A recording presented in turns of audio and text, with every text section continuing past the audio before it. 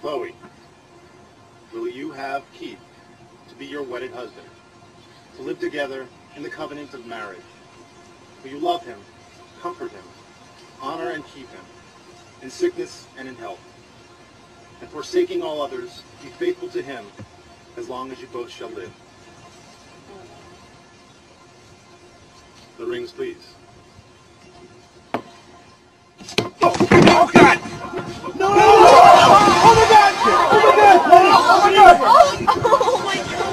Are you okay?